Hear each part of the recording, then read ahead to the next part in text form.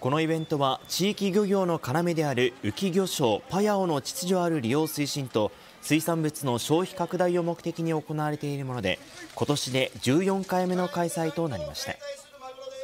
祭りではまず宮古島産漁協の関係者らが近海で採れた30キロ超えのマグロを担ぎ上げて祭りの開幕を宣言するとカツオ一本釣り体験や魚のつかみ取り海の生物と触れ合うことができるコーナーなどさまざまな催しが繰り広げられました。カツオが予想外に重かったです。こんな重たいものを軽々と引き上げてる人がすごいなと思いました。重いけどなんかよいしょって掛け声かけて釣るのが楽しかった。大物は釣れましたか？はいまたマグロの解体ショーでは手際よく3枚におろされたマグロの刺身が来場者に振る舞われ会場を訪れた人たちは海の恵みに感謝しながらイベントを楽しんでいました。